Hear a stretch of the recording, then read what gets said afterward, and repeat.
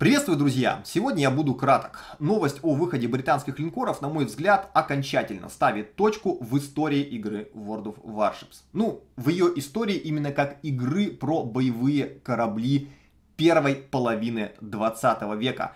То, что сейчас будет происходить, если, конечно, после тестов это не поменяют, мы с вами окончательно получим доту на синем пластилине. Почему? Давайте почитаем и убедимся сами. Tornado Energy. Do damage.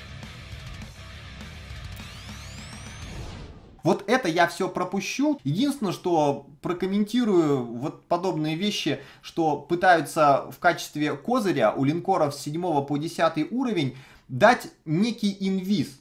Ребятки, вот кто это пишет и кто это придумает, сходите, поиграйте на хай-левелах. Ваш инвизный линкор, который должен незамеченным подходить к вражескому кораблю на удобную дистанцию и тщательно прицелившись разрядить орудие ему в борт, его засветит Шимакадзе, его засветит Гиринг, его засветит Мидуэй, Тайхо, да все что угодно, ребята. Вот то, что они пишут, это справедливо в крайне редких ситуациях, когда вы остались один на один с противником. Это будет преимуществом у британского линкора? Конечно, будет. Но это будет такие редкие случаи, и реализовать это может, знаете ли, игрок не очень среднего ума, а несколько повыше, которых у нас в игре уже осталось достаточно немного. Кто не верит, поиграйте с оленемером. Однако переходим к главному, что ждать от британских линкоров. Вот здесь и начинается главная хиромантия. Простите, ребят, вот очень хочется говорить спокойно, но я с трудом сдерживаюсь, чтобы не материться. Я действительно сильно расстроен. Я возлагал в свое время большие надежды на эту игру. И британские линкоры, я уверен, что вы их тоже ждали. Британия, владычица морей, традиции морские. И вместо этого нам выкатывают каких-то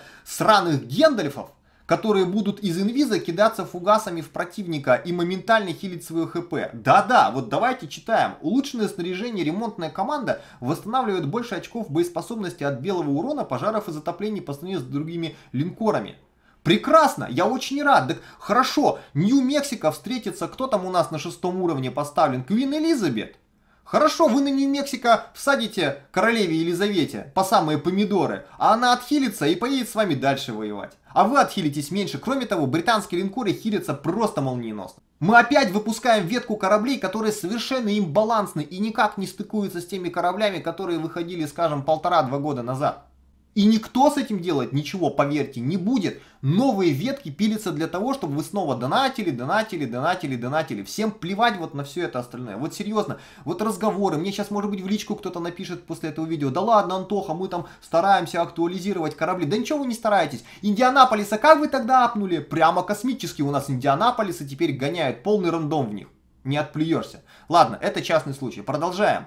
Фугасные снаряды с увеличенным уроном и повышенной величиной бронепробития позволят наносить серьезный урон даже тяжело бронированным целям и увереннее действовать на дальних дистанциях, где бронебойные снаряды не так эффективны. Что? Кто это писал? На дальних дистанциях неэффективны бронебойные снаряды. Там, где они прилетают вертикально сверху в палубу, пробивают ее и цитаделят. Палуба тоньше, чем боковое бронирование цитадели. Оказывается, неэффективны у нас бронебойные. На средних дистанциях, соглашусь но не на дальних. Так что теперь, ребятки, включайте фугасики, готовьте свою волшебную хилку и давайте аутировать. И я уверен, что у нас просто и официальные вододелы об этом обязательно расскажут. И у нас начнется мир фугасов теперь еще на линкорах. Можно подумать, до этого его было мало. Давайте вообще, вот, товарищи продюсеры, вы не мучайтесь, вы отберите бронебойные снаряды вообще у всех, у вас только проблем отпадет. Ну, однако вот про бронирование тут нам говорят. Мощное бронирование кораблей ветки с 3 по 6 уровень. Британцам по плечу принимать вражеский урон и эффективно продавливать направление, ведя за собой союзников. Ну а надежное бронирование носовой части корпуса не поможет танковать наступление защите. То есть, ребята, смотрите, если вы не готовы раскрывать конкретный ТТХ, не надо нести всякую херню. Мощное бронирование, что это значит мощное бронирование? Вы приходите э, в автосалон и говорите, сколько у этого автомобиля лошадиных сил. Вам говорят, много.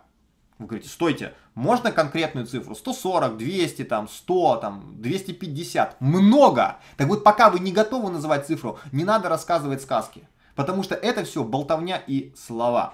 Ну и последний четвертый пункт. Хорошая по меркам класса линкоров маскировка на кораблях 7 по Десятый уровень, относительно невысокая заметность, открывает в бою дополнительные возможности. Например, вы сможете незамеченным подходить к противнику на выгодную дистанцию, чтобы реализовать первый залп с максимальной точностью.